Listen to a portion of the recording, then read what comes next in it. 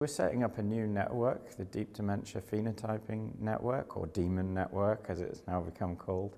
And the idea for that is to provide a kind of infrastructure for data science in the UK.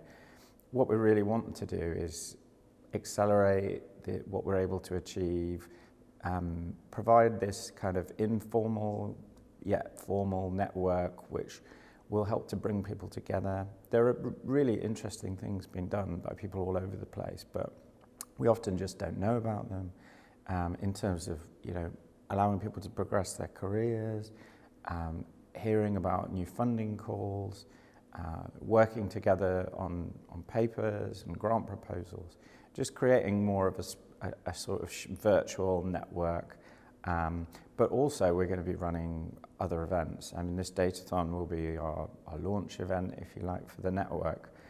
But also, we, you know, it, it will be driven by the enthusiasm and the needs of the members. So um, the fact that we've got uh, buy-in from Alzheimer's Research UK, the Alan Turing Institute, Dementias Platform UK and the University of Exeter, I think by bringing those things together we could achieve a lot more.